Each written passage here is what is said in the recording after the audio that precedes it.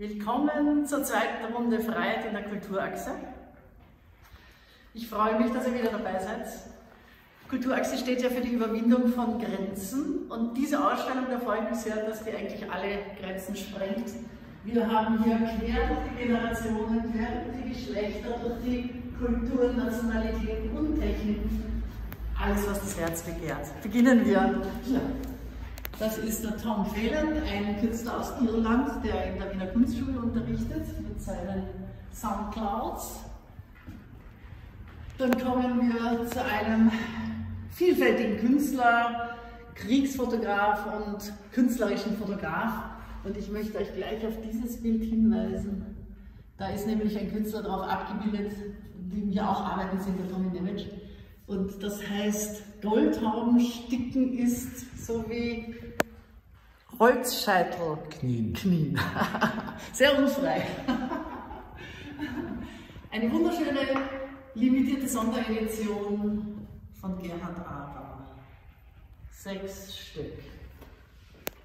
Dann äh, flankiert von der Monika Frank mit ihren Verflechtungen. Die kennen sich übrigens zufällig, ist ja auch sehr interessant. Wir haben jetzt wieder 26 Künstlerinnen und Künstler, das heißt, bei den zwei Freiheitsausstellungen haben wir in kürzester Zeit über 50 Künstler und Künstlerinnen mobilisiert. Das zeigt, dass das Thema sehr präsent ist. Hier ist eine Künstlerin, äh, die aus Russland kommt und in Österreich lebt, äh, mit einem Zyklus aus vier Arbeiten. Und da geht es um, natürlich um die Freiheit und die Denkenfreiheit die Freiheit des Denkens.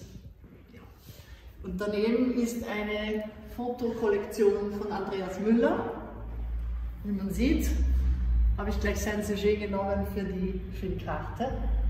Auch er hat sich viel Gedanken gemacht über die Freiheit, Freiheit des Handelns, Freiheit des Fühlens. Es werden dann die Texte der Künstler und Künstlerinnen, die etwas darüber geschrieben haben, auf dem Tisch liegen zur Nachlese. Hier kommen wir zu, übrigens ja, was ich äh, noch nicht gesagt habe, wir haben die Wände eingeteilt in Techniken. Wir sind jetzt bei der ersten Wand, das ist eine grafische und fotografische Wand, dann kommt eine malerische Wand und am Ende kommt die haptische Wand mit den Objekten.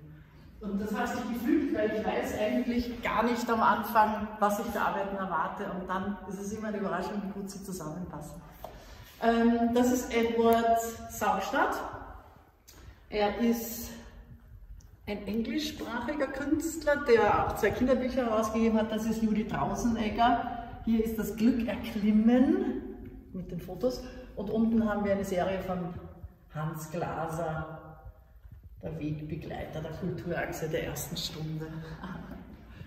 Hier kommt ein äh, sehr interessanter jüngerer Künstler, ein Konzeptkünstler. Der hat hier präsentiert verschiedene, das sind Satellitenaufnahmen, übereinander geschichtet von Gefängnissen mit Zwangsarbeit, von Refugee Camps. Und dieses Dunkle hier ist so dunkel, weil er schichtet tatsächlich 60 Satellitenaufnahmen übereinander. Auch hier dazu gibt es einen Text. Hier ist auch ein sehr interessanter Künstler, Panto Trifkovic.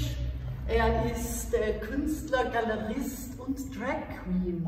Und er thematisiert hier, äh, wie schwierig es ist für eine Drag Queen in Wien in ein Taxi zu steigen. Also so frei sind wir hier noch nicht. Das ist der Tommy Nemec noch einmal, den wir vorher schon im Foto bewundert haben. Und nun kommen wir eben zur malerischen und zeichnerischen Wand. Und das beginnt mit der Freiheit der Frauen, mit der Katharine Palmerio. Man kann sie drehen. Schauen wir mal, ob sie sich befreit. Hier auch. Und da ist sie noch einmal. Ich denke schon, dass sie es schaffen wird. Sie hängt neben der Marta Kalandazze, eine georgische Künstlerin, die auch in Wien lebt. Und hier hat es sich auch so ergeben, dass wunderbar eigentlich ihre Collage zu den Arbeiten von der Katharine passt. Das sind so die, die herrlichen Gegebenheiten. Jetzt kommen wir zu einer polnischen Künstlerin, Malgorzata Kugler, mit ihrem Damespiel Yes, I love it. Alles interessante Frauen, die etwas zu sagen haben. Und daneben eine idyllische Arbeit. Sehr oft wird äh, Freiheit auch mit Glück und Idylle verbunden. Ähm, hier ist die Annika Friedrich mit sehr schönen Zeichnungen, wie ich finde. spricht über, eigentlich über die Freiheit der Idylle und des gemeinsamen Erlebens und der Natur. Flankiert von einer Künstlerin, die aus äh, Serbien kommt und dort ihre Kunstausbildung genossen hat, ist Lajana Lisekuna mit äh, sehr ansprechenden, abstrakten Arbeiten. Nun kommen wir zur haptischen Wand und das beginnt mit einer Künstlerin, die in, äh, die sich Villa Wagner nennt nach ihrer Urgroßmutter und sie ist in Kanada geboren und ist in Mexiko aufgewachsen.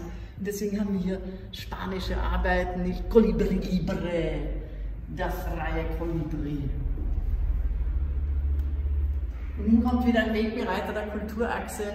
Ich freue mich sehr, dass er mitmacht. Bernd Schaudinos, ein äh, Künstler und Aktivist.